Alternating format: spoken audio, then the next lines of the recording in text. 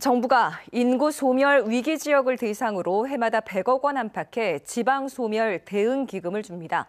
전북에서는 10개 시군이 대상인데 어찌 된 일인지 제대로 쓰지 못하고 있습니다. 박웅 기자가 보도합니다.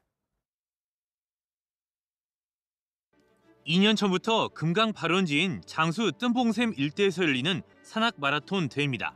전국적인 인기로 갈수록 참가자가 늘면서 산악 코스를 정비할 필요성도 커졌습니다. 장수군은 올해 산악 마라톤 기반 시설 조성 사업에 지방 소멸 대응 기금 가운데 12억 원을 투입할 계획입니다. 인구 분야에 대한 예산으로 자원을 배분하기가 쉽지 않은 상황입니다.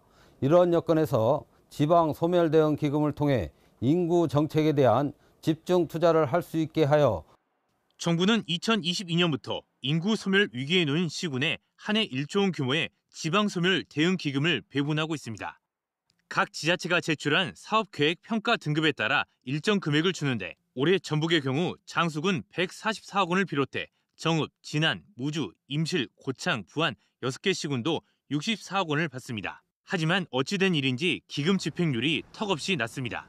실제 지난해 상반기 기준 절반이 넘는 6개 시군의 기금 집행률이 10%를 밑돌고 있습니다. 정부의 기금 배분 시점이 제각각인데다 주로 공공시설 사업에 치중돼 예산 집행이 터덕거리는 겁니다.